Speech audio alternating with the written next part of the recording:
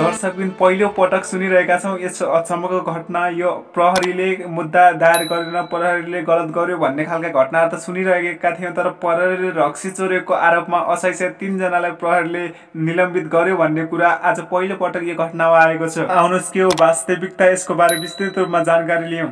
रक्सी चोरीको आरोपमा सिराहा प्रहरीले तिनजना अधिकारीलाई निलम्बन गरेको छ। जिल्ला प्रहरी कार्यालय सिराहाले रक्सी चोरीको आरोप खेपेका एक प्रहरी सहायक निरीक्षक असय सहित तिनजनालाई निलम्बन गरेको हो। लोहान नगरपालिका वडा नम्बर तेइस गडिया चोक स्थित पूजा होटल एन्ड एसके मदिरा पसलबाट भोटका रक्सी चोरीको आरोपमा उनीहरूलाई निलम्बन गरिएको सिराहा प्रहरीका प्रवक्ता शालिग्राम शर्माले गत नौ गते गस्तीमा खटिएका तीन तिनजनाले उक्त पसलमा मदिरा सेवन गरी होहल्ला गर्ने व्यक्तिहरूलाई नियन्त्रणमा लिन लाग्दा पसलका सञ्चालक चालक भागेका थिए। त्यस अवस्थामा पसलबाट प्रहरले केही भोटका रक्सी लिई गएको भिडियो सार्वजनिक भएको थियो। विभिन्न सामाजिक सञ्जाल तथा सञ्चार माध्यमहरूमा उक्त भिडियो अपलोड भई आलोचित हुनुपर्ने अवस्था देखिएकाले उनीहरूलाई निलम्बन गरी थप अनुसन्धान गरिएको शर्माले बताए। दर्शकबिन जनताको जन र धनको सुरक्षामा खटिएको प्रशासनबाटै प्रहरीबाट यसरी रक्सी चोरी हुनुलाई तपाईँले कसरी लिनुहुन्छ कृपया कमेन्ट बक्समा लेख्नुहोला। देशका सतहत्तरै जिल्लामा कुन ठाउँमा कुन भ्याकेन्सी खुलेको छ त्यसको भिडियो ल्याएर हामी आउँदैछौँ।